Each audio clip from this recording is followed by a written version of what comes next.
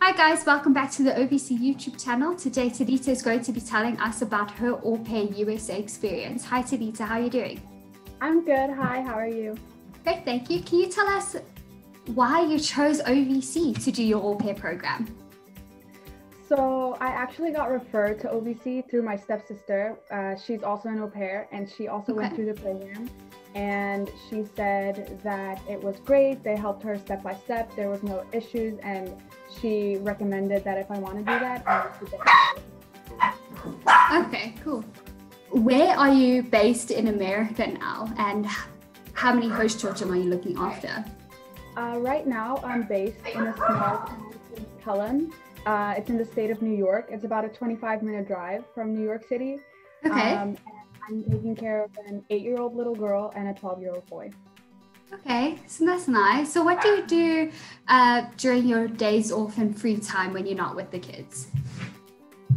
Well, before all of this, you know, coronavirus thing happened, um, I would go out with my friends. We'd go to the movies. We'd go to parks. Um, okay. And then right now, uh, I would meet friends in the park, social distancing, wearing masks. We'd um, get something to drink, and then we'd just hang out in the park, you know, have picnics, um, kind of things like that. Okay. So, what does your day to day routine look like within the host family? Like, when are you working and with the kids? So, I wake up at 7 a.m. every morning, and then I start at 8, um, getting the kids up ready for school. They are fully virtual right now, um, so I need to make sure that their computers are set up and that they're ready for school.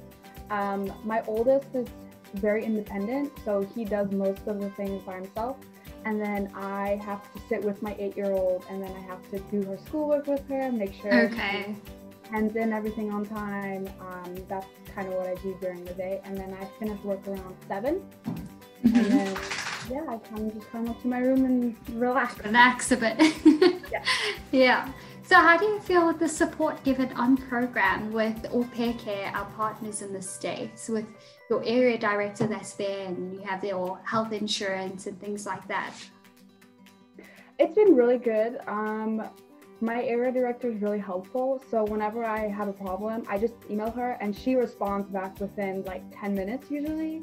Oh, so wow. I've never had to wait extremely long for a response if I'm in a situation. Um, insurance is good. I had a, a, nasal surgery last year and it was covered because it was an emergency. So okay. I have no problem with my insurance. It's been really good. Um, so yeah, I have no complaints there. Okay, good, good.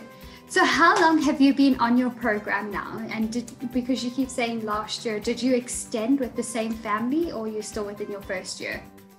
No, so I've actually almost been here two years. Um, my okay. program started in April 2019. Um, this is my second family. I was in Virginia my first year, and okay. then in May of this year, I came to uh, New York, uh, extending with my second family. Okay, so you extended with another family to experience a different part of the states, or did you extend because you went into rematch and just extend with the new family? I went into rematch. Um, okay. So yeah, but I think also originally I wanted to stay in Virginia going into rematch, but then I realized, you know, I've never seen a lot of New York City, so mm-hmm. I think it's nice to extend with a family in another state. Okay, okay. And that that ended up well. So how was the rematching process? Are you okay if we talk about that briefly? Yes, of course.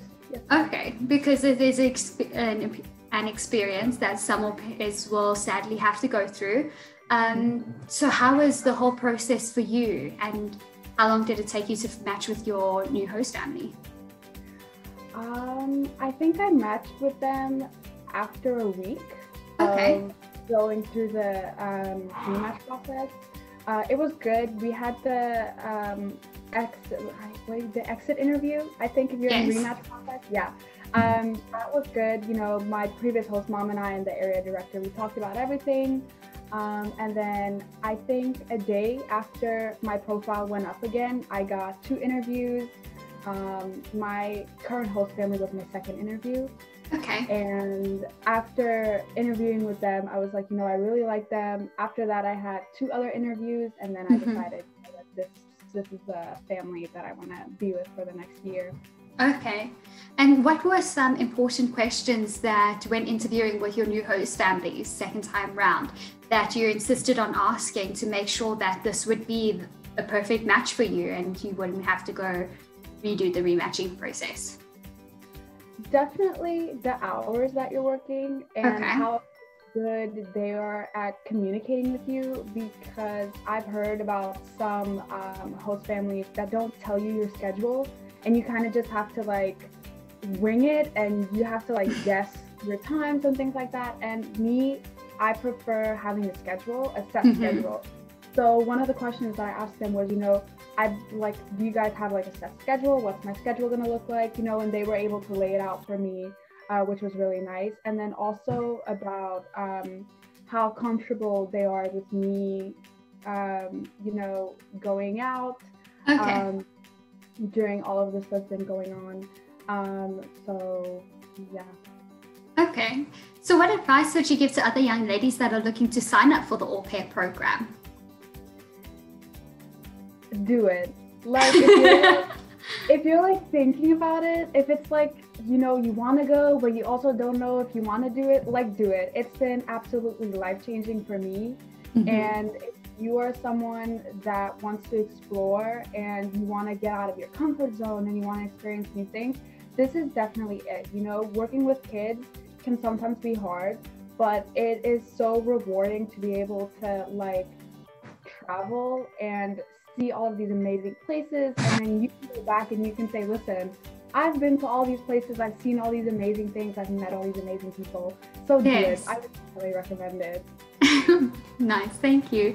So, what are some of the places that you've been able to travel to um, and experience since being in the States? Uh, I've been to Canada. Oh, wow. Yeah.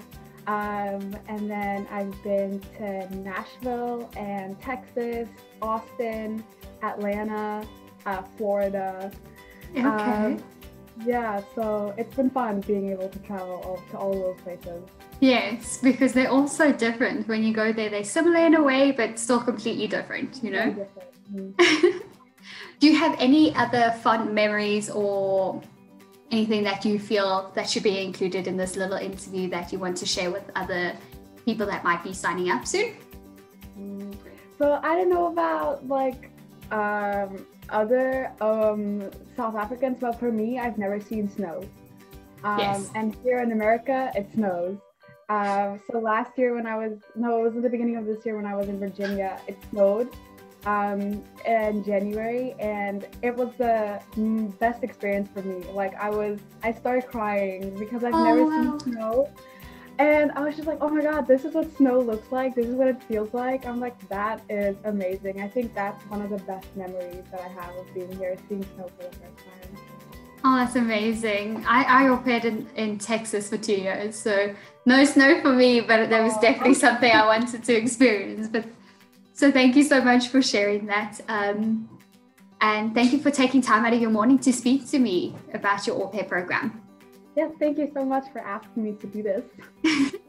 Everyone else that's watching, please remember to like the video and subscribe below. Thank you. Bye.